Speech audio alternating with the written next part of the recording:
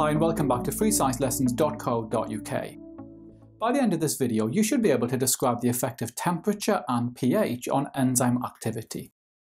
We've been looking at enzymes. We saw that enzymes speed up chemical reactions, and to do this, they've got a groove on their surface called the active site. The substrate is the molecule that the enzyme reacts with, and this fits perfectly into the active site like this. The enzyme now breaks down the substrate into the products. Remember that enzymes are specific, and that's because the substrate must fit perfectly into the active site. That's called the lock and key theory.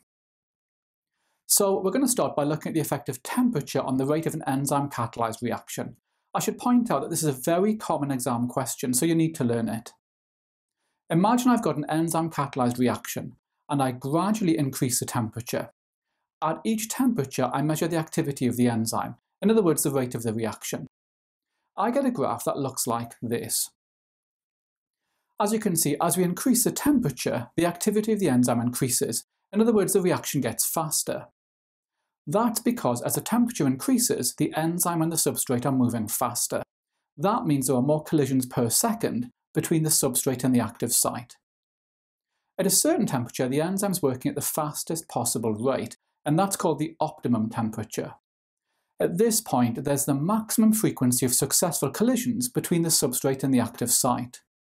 For most human enzymes, the optimum temperature is 37 degrees Celsius, which is human body temperature. Now, as we increase the temperature past the optimum, then the activity of the enzyme rapidly decreases to zero. In other words, the enzyme stops working.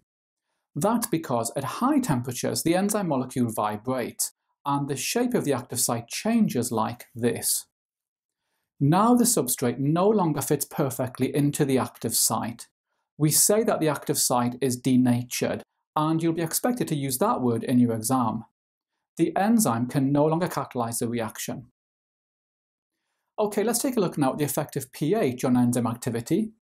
In this case, we're taking an enzyme-catalyzed reaction and we're altering the pH. We're then measuring the activity of the enzyme at each pH, in other words, the rate of the reaction. We get a graph that looks like this. The enzyme has an optimum pH where the activity is maximum.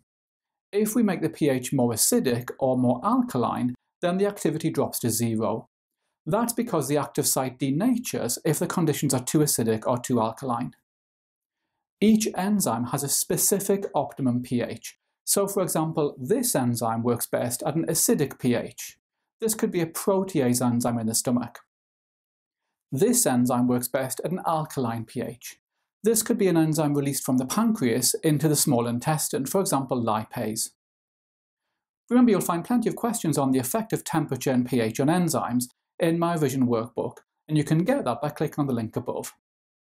Okay, so hopefully now you should be able to describe the effect of temperature and pH on enzyme activity.